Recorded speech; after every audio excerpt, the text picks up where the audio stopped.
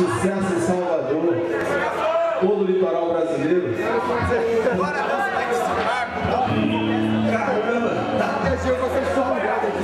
Pessoal, vamos ficar em pé aí, ó.